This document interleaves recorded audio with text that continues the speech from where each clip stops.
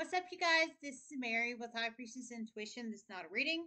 Um, this promotion of a reader, Sun Bindi, uh, Munchausen's mother ruined reputations and finding out their uh, finding out they're adopted.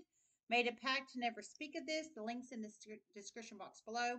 For anybody doesn't know, Munchausen syndrome is basically uh, when you fake illnesses. You fake illnesses and you basically fake illnesses to have people take care of you, like grown adults. Fake illnesses that like hypochondriac, um, to have people take care of you. Like, oh, I can't take care of myself. Oh, I'm so, oh, I need help. Kind of, kind of situation. Um, when in reality they don't. They don't. They just want others to take care of them.